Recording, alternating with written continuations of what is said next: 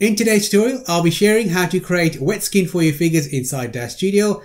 I'll also be covering the four critical areas you need to consider before creating wet skin, and I'll also be sharing a few tips and tricks that are going to help you to create the most realistic skin for your figures inside Daz Studio. Hi, I'm Parmy. Welcome back to my channel where I help you to master Daz Studio. Now, if you're new here, don't forget to hit that subscribe button and that notification bell so you don't miss out on any cool videos that are going to help you on your journey. Having said that, let's get back to the tutorial right now. Welcome to this tutorial regarding how to create wet skin inside Daz Studio. Now, there's a lot of ways to create wet skin in Daz Studio. I'm going to show you one way which has worked pretty good for me.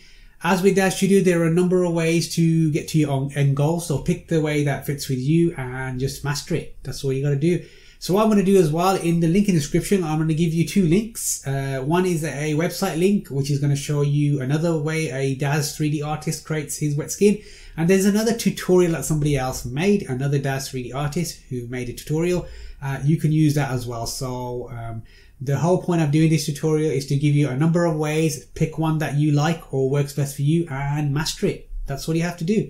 So having said that, let's get started with the tutorial. Let's create some really cool looking wet skin. So before we begin, I want to cover four critical areas that a lot of tutorials will talk about regarding wet skin. And I'm going to start with that right now. So number one critical area is the quality of the skin.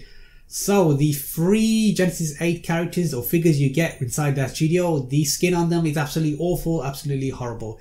And don't expect awesome great skin when you have uh, free figures, don't expect that. So I highly recommend you go out and buy one uh, from the Daz 3D store or Renderosity or wherever you want to buy one, that's fine. This one here, Michael 8, uh, has awesome skin as you can see, so it's going to look great, the wet skin. So highly recommend you go and do that. Uh, number two is the tone of the skin. So here we got Michael 8 with a very light skin tone and that will uh, that will have to that will depend on the settings I use. So depending on the skin tone, I will have to change the settings. So if I give you the settings here and you apply it to a darker skin tone, it ain't gonna work. It ain't gonna work. Basically, you need to consider the skin tone. You'll have to change the settings appropriately. I will show you. I've got a lighter skin tone here, Michael 8, and I've got Denton as well, which I'm going to show you later on the tutorial which has got darker skin and you can see that how I have to change the settings to make it look um, to make it look at least half as decent as what it looked like on Michael 8. The third, the third critical component is lighting. Now lighting is, what can I say about lighting? It's the number one factor inside our studio. You could have the best skin like here Michael 8, but if your lighting sucks, your render's gonna suck. Simple. It's simple. Uh, so I highly recommend you uh, practice lighting. I know it's difficult. I know it's hard. I find it still hard as well. But uh, with practice, you will progress, and when you progress, you will get better. So just practice with your lighting, and you will see um, how great your renders will look. So lighting, very important indeed. And last but not least, iray settings. So when I mean by iray settings, I mean these skin shaded settings here. So these are the, these are iray, iray settings. And what I mean by here is you don't want to go too crazy with the settings because if you go too crazy, your skin will start to look like plastic film. And that is not the way skin looks when it's wet. It doesn't look like plastic film. Uh, when I first started creating wet skin, uh, very, very early on in the days, uh, a year and a bit ago, um, it just used to be um, plastic skin and I thought plastic film and I, th- and I thought it looked like wet skin, but no, that's not the way it looks. So uh, just don't go too crazy with the settings, otherwise it look like plastic film. Having said that, let's get on with the tutorial right now. Okay, so before we begin, I just want to go over through my lighting. So I'm just basically using the default D dome environment as my lighting nothing fancy, and just a dome rotation facing the eyes. As you can see the eyes here, um, the, the light's coming from here and it's pointing this way, just to get even lighting. That's all it we're doing. So nothing fancy with the lighting so far. So let's uh, create this um, wet skin first. So the first thing we need to do is create the underlying uh, wet skin. So here you can see very, very, very faint. These are specular highlights here. These are specular highlights. So these is where the skin will start to get very shiny once we start to change some of these iray settings. So the first thing I want to do is click on Michael 8, go to Surfaces tab. I've already done this. Oops, Surfaces tab. Go to Editor and then click on Michael 8 and then Skin. Now Skin, when I click on Skin, it will highlight all the surfaces of the skin um, and it's highlighted in there for me. Great. So I'm going to go down to the settings that actually deal with the glossiness, the shininess of the skin. So the first one we have is Dual Lobe Specular Weight. And you'll find that a majority of the figures are starting to use this Dual Lobe Specular Weight. This is like the better way of using, uh, making shiny skin. So the first thing we want to do is we just really want to whack this up to number one. So we just want to whack that up to number one. That's all we want to do. Really easy, straightforward, nothing too difficult so far. We're not going to change any of these settings here because we don't need to. The next thing you'll find is the glossy layered weight. Now the glossy layered weight, some uh, figures that people that create them use glossy layered weight to enhance the glossiness of the skin. Uh, when I turn this on, you'll see what happens. Although we're not going to use this, it makes the skin very, very wet, depending on how much weight you use. Um, I personally don't like to use it, so I'm going to leave that at zero because we're going to use something else instead. So what we're going to use is we're going to use top coat. And the reason why we're going to use top coat is because, explain this very quickly, is we have layers inside uh, Iray. So we have the first layer, which is the dual lobe specular weight, which controls the glossiness. Then we have the actual glossy layered weight. So really bad handwriting, I apologize. And then we have metallic flakes, the metallicity, this here, metallic flakes. This creates a fake glossiness as well. And then on the top of all of that, we have top coat. So we have top coat, TC, I'll put for that. Top coat, as you can see, very clearly defined here. We're, de- we're basically dealing with layers. So we have the base layer, then we have another layer, maybe we have a metal, metallicity, and then we have top coat. So this is why I like to use top coat. Let's get to the actual thing that's going to you know, give you the benefit straight away instead of using individual things where we're having too many settings. We don't need that many settings to create um, wet skin. So we're just going to deal with top coat and dual lobe specular That's all we're going to deal with. And that's all you need really to create wet skin. So uh, let's go down to top coat. I'm going to whack that up to one and just show you how it works. It works exactly the same way as glossy layered weight, uh, but we can get some additional settings with this. So a starting value for this, as you can see, our skin is very, very wet, almost like there's a plastic film on it, and we don't really want that. That's far too wet, unless that's the look you're looking for. I highly recommend you don't go crazy and go one on this, it's too high. I would start off with a value of 0.3, a very uh, good value to start off with, 0.3, and then you can work your way from there.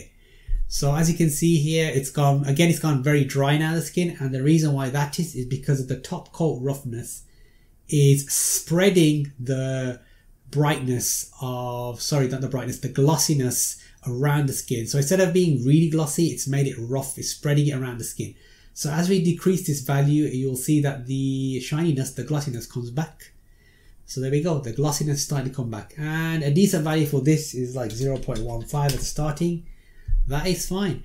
So essentially you don't need that much gloss for the underlying layer of the skin that we're doing here. This is perfectly adequate for wet skin. Um, the next setting now is reflectivity. Now, generally I will leave this at 0.5. The setting that the person created with the Michael 8 decided 0.39 is a good setting. That's up to you. So basically what reflectivity does, it just boosts the shiny bits. So if you just have a look at the shiny sections here, as I increase the reflectivity, it will get very, very bright. There you go. So that's all it does. It just makes something that's very something that's very shiny. It makes it even bit more brighter. So as you can see, we don't really want this very high. I will leave it at 0.5. That is a perfectly adequate setting for what we need it for. So that is really the basics of the settings. We haven't done much. We've changed maybe three or four settings. That's all we need to do for the base underlying layer. Great, very easy. So how do we make this, uh, make it look more realistic? Well, what we need to do is add water droplets on the skin. And the way we could do that is add a geometry shell like we did in the bioluminescence uh, tutorial. So make sure Michael 8 is selected in your scene tab. It is here. We're going to click on create here. We're going to go to new geometry shell. Uh, I'm going to leave the label as Michael 8 shell. That's cool with me. If you want to change it, you could change it here. So I'm going to do accept. And then it's going to go all like weird and white. That's fine. That's normal. Nothing to freak out about there. Uh, what we need to do now is we need to go and select um, the surfaces here in the surfaces tab of the shell and we need to change it to Iray shader because it's using the DAZ, the DAZ Studio default shader which I think is 3Delight for some reason. I don't know why it's using that. So let's go to presets, shaders and let's get our lovely Iray Uber base. So when we go back to editor you'll see it looks very familiar which is exactly what we want it to look like. So the first thing we need to do is we need to tell the Iray shader, hey, we don't want you to uh, touch these surfaces, leave these surfaces as they are. So the surfaces I want to leave alone, I don't want to apply any settings to, are the eyes. So the cornea, the eye moisture, the eye socket, fingernails, irises, uh, the mouth, the pupils, scale area, teeth, and toenails. And again, I'm going to go up here to the search section here. I can start searching for particular bits inside this uh, shader because there's a lot of settings in here. I've been a bit lazy. I'm just typing cut for cutout opacity. And I want to set this to zero because I don't want anything to affect those specific surfaces. And as you can see, because I've told you not to look at, I've told you to cut out the eyes, you can start seeing the actual eyes here. Cool. So the next thing we want to do is actually select the surfaces that we want to affect. So the ones we want to affect are the arms, oops, sorry, the arms, the ears, the face, the legs, the lips, and the torso. And I want that setting to be one, max out that setting. And I'm just going to get rid of this so we can see the other settings. So just delete that search there. So at the the default setting for um, the geo shells when you apply the Iray shader is the glossy layered weight is 0.33. I don't like using glossy layered weight, so I'm going to put that to zero. No, thank you. Um, and I'm going to go down and we're going to go to cutout opacity. Now this is where we're going to choose our cutout opacity, our fake, um, our fake droplets, water droplets. So we're going to go to browse here. And I've got some here. These textures link will be in the description for these textures. Some of these are good and some of these are really bad because these are the ones that I started off with. So the best one that I found so far is actually number seven. So we're going to apply number seven here. Now don't worry about this. This is just to, don't worry about this. If this is freaking out this is absolutely normal because I missed a setting which I'll go back to very shortly which we're going to do right now actually so what we need to do is we need to make uh, this uh, geometry shell look like water. So how do we do that? Very easy. Refraction weight, set that to 1. Okay. Refraction weight, set it to 1. Refractive index, refraction index, set it to 1.33, which is the refractive index of water. As I said, you can go on Google, type in refractive refraction index, and it will give you a whole set of uh, refraction index values that you can put in here and really uh, play with. So 1.33 is water. Excellent. Okay. So what we need to do now is make it more glossy. So we've got very, very faint uh, water droplets here. Can't really see them as much. So again, we're going to use top coat weight. We're going to whack that up to one here. And you should start seeing them. So there we go. So at the moment, it looks kind of okay, not great. So we're going to change that right now as well. So we're going to go down in our top coat settings. Top coat roughness, we're going to start off with a value of 0.3. So remember when we make things rougher, it spreads the um, shininess, the glossiness around. So it's going to make it more glossy. And the other thing we're going to use now is top coat layering mode. This is the first time you've probably see this setting is we're going to change this to custom curve. Now, when we change the custom curve, we get these extra settings. You don't need to worry about these extra settings. Uh, we're not going to touch these. The only one I'm going to touch is this one here, top coat curve zero. And I'll show you what that does is when I increase it, you'll see that the water droplets start to change uh, in terms of the kind of color of it. Now we're not going to do a very high value for this. We're going to do a very, very low value. So something like 0.15. So as you can see, it doesn't look very good. The other thing we need to do as well is we need to change the tiling like we did in the bioluminescence uh, tutorial um, because at the moment the tiling is crazy. As you can see on the arms, the tiling is absolutely wrong. That's not the way water drips down our arm. If it's like this, it drips down like a vertical line. Uh, at the moment it's horizontal, so you'll need to change that as well. So each individual surface, you'll need to go and change the tiles. So I'll do torso for now. And I'm going to try and remember the settings. So vertical tiles, I think was two in this case, and I think the horizontal tiles was five. It might be less than that. It might be three actually. It might even be two.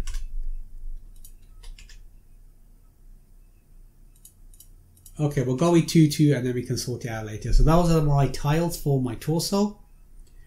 And I'm going to go back up and sort out the way this water looks now. I don't like the way it looks. So what I'm going to do is increase the roughness. So let's try 0.5. Let's make that more rougher.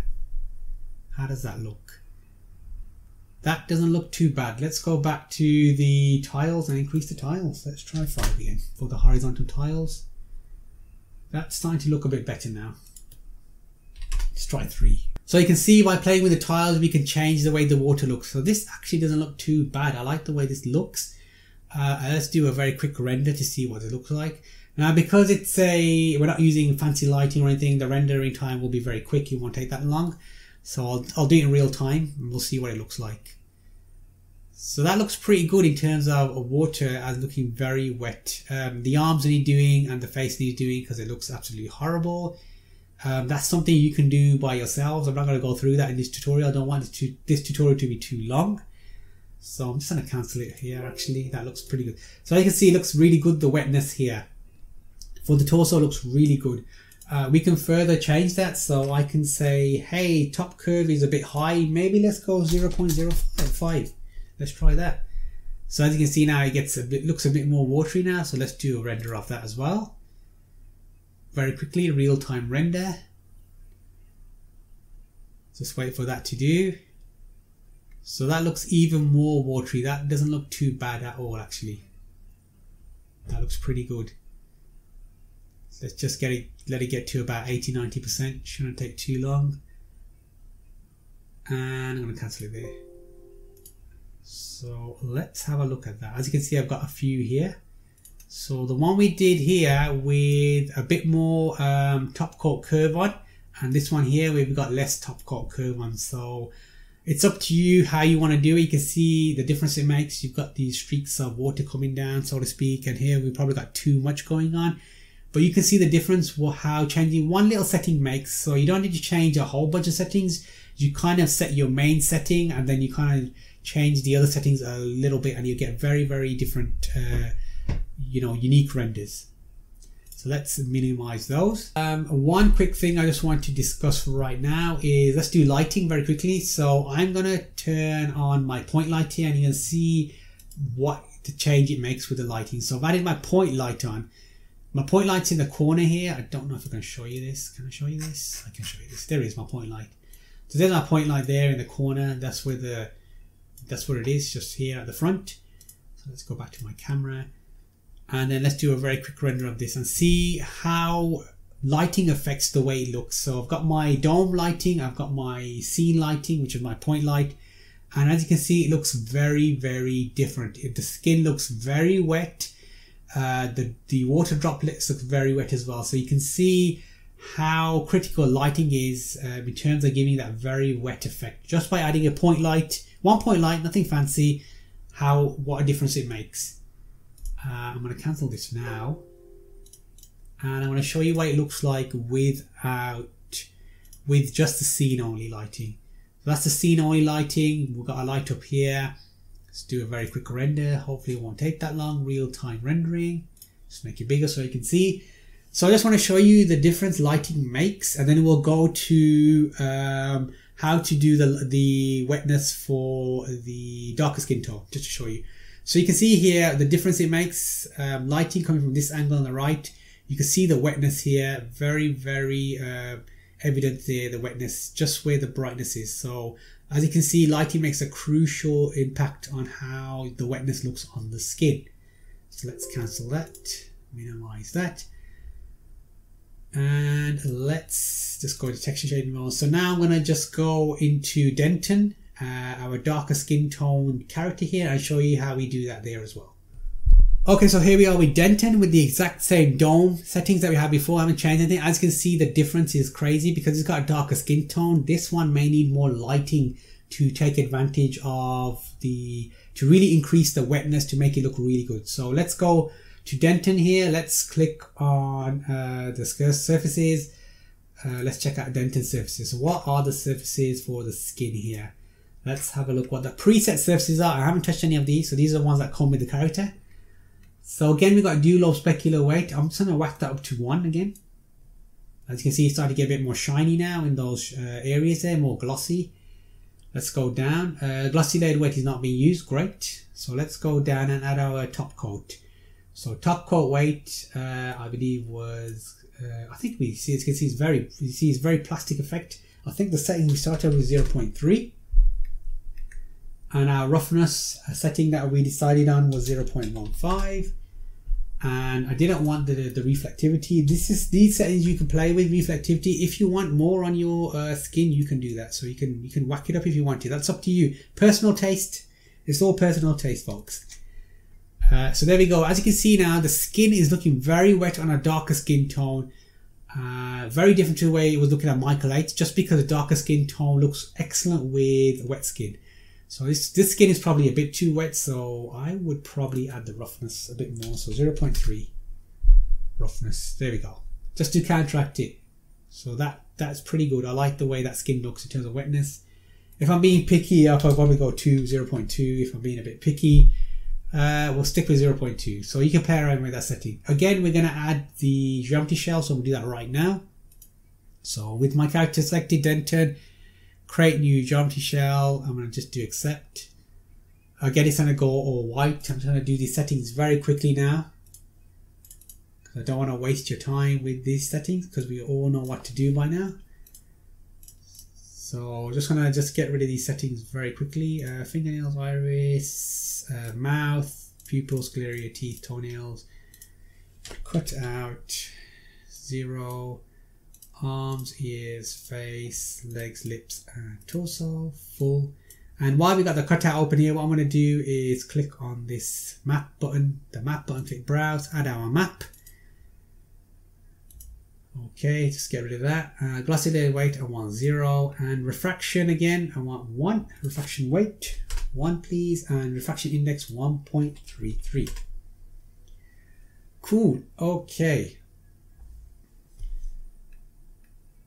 And we need to add a top coat now. So top coat one. Max out the top coat. As you can see it gets very uh, very wet indeed. Uh, again we're going to use uh, top coat roughness. We're going to start off with a value of 0.3 and top coat layering mode we're going to use the same value. So custom curve. And I believe the initial value for top coat curve 0 was 0.15 as our initial value so you can see how different it looks um, with a dark skin tone. These settings, the original settings that we did for Michael 8, look very different to a dark skin tone. So again, you're going to have to play with this. Again, I would decrease this to 0.05 even. And I would increase the top coat roughness to something like 0.5 to get the wet look. One other thing that I think we didn't do was add a top coat bump so we could increase the the realism, so to speak, because water does have a little bit of bump. It's not all, it's not super flat, so we could add a bump here. So click here, go to browse, and we can add our normal map here. And then I just need to change the top coat bump mode to normal map here, just to let it know that we're using a normal map. And now you can see more of it here. Again, we have it in the cutout, uh, sorry, the tiles. So I'm gonna do the tiles now. So maybe two for that. And maybe vertical tiles we can have five this time and see what that looks like. Uh, maybe that's too much three. Okay cool. So at the moment it doesn't look really good at all the wet skin. Uh, the droplets the water droplets does not look very good at all. So what I would do now is I would probably decrease the decrease that quite a bit actually let's go to 0.15 let's make it more shiny Right, let's see what that looks like. Let's do a render. Let's see what that looks like. So as you can see, it really depends on the skin tone and the lighting. So I'm just going to change the lighting in a very quickly in a bit. I just want to show you what this looks like because the rendering doesn't take that long. So remember we only we changed the we changed everything on this one. The torso here's the it's just doing the actual calculations. The wet skin. Let's get let's let it get to about 90% see what it looks like. So this actually doesn't look too bad. It's probably doesn't look too good here at the moment because still doing the rendering. And we added the normal map here. We didn't add the normal map for Michael 8. So I highly recommend you add a normal map uh, just to give it that realism because there is some depth to water even though it's not totally flat. Water droplets do have depth. So there we go. So this actually doesn't look too bad with these settings. That looks pretty good. So I'm going to cancel that right now. I'll leave that as it is. Uh, let's go and change the lighting. So I'm going to add my uh, point light here and see what that looks like. What difference does that make?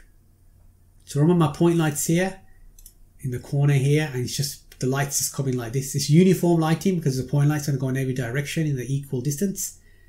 So let's go to my camera. And as you can see, we've added that light and the skin looks very, very glossy now. Very shiny, very wet because we added that light. Let's do a very quick render of that. So just give it a second to kick in. Shouldn't take too long. There we go. All right. Uh, let me just see what setting you at 57%. or just let it get to about 90 something percent. So you can see the difference lighting makes uh, as well as on darker skin tone. Uh, when you use a HDRI as well, HDRI map, another one, uh, it really does affect the way the water droplets look. Again, make sure you do tiling, individual tiling for the face, for the arms, for the torso, and for the legs as well. Although we can't see his legs here, uh, make sure you do the, the individual uh, tiling for that as well so it looks more realistic. As you can see, the arms need work because that is not the way water looks like on arms. So this looks highly realistic. It looks pretty good. I like the way this looks actually. It's really nice. So I'm going to cancel that. Uh, last one that we're going to do now is we're going to just do scene only and see how that looks. So let's do a quick render of that. So I just want to show you the the lighting with a dome, with the dome and the scene lighting, and with the scene lighting by itself, i.e. the point light by itself, just to show you the difference it makes uh, lighting. Uh, just just to show you that even though we may have really good settings here, once you apply the lighting, you may have to change these settings here to accommodate the lighting you're using. So it's taking a while here just to do it. It takes a while to do rendering with point lights because you can imagine the light is bouncing off the skin here and is going off in crazy directions and the point light's going in every direction so it needs to do more calculations. If you're using a spotlight, spotlight's very focused lighting in one direction and that's gonna uh, that's gonna be slightly quicker to render. So here I would actually play around with the tiling. I don't like the way the tiling is here. It looks like it's kind of like frost frost frozen skin going on here, frozen droplets or something. Uh, it just may it just may need more time to render, uh, but that's something I would adjust because I don't like the way that looks at the moment. I hope this tutorial has helped you and give you a few pointers to consider when you're creating your wet skin for your figures inside Daz Studio. Don't forget the four critical elements as well. The actual skin tone, so the lightness and the darkness of the actual skin tone, the quality of the maps of the skin tone, lighting as well, don't forget that, my personal favorite. And number four, the actual Iray setting. So once you consider those four things, you can start to create your awesome wet skin for your figures. Now, if you stayed to the end of the video, thank you very much. It means a lot to me. If you like the video, make sure to hit that like button. Don't forget to leave a comment down below as well. And for this week's comment of the week, it is from Toby Yoda. So I'll leave it up here. Toby Yoda, if that is your real name, that is so cool.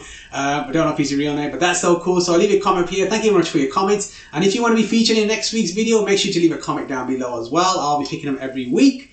And having said that, I'll see you in next week's video.